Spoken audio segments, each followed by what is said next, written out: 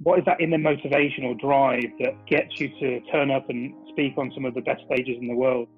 It was yeah. just to develop some confidence, just overcome a fear of speaking in public, maybe be able to do presentations at work, you know, for all sorts of personal development reasons, as opposed to thinking, I'm going to go and inspire a billion people.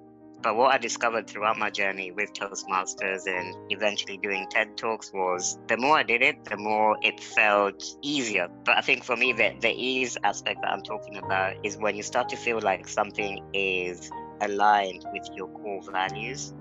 And I still get nerves when I go on the stage. So it's not, you know, it's not to say that I've conquered all of that. And to be honest, I don't even know if I want to. I feel like there's a healthy level of adrenaline that needs to be maintained.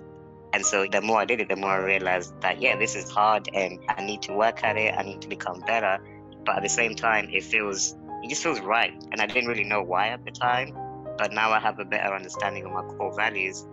I can I can see why this just feels more aligned than perhaps doing a 95 job, which was rewarding me financially, but not necessarily speaking to my core values in the way that speaking mm. on stage does.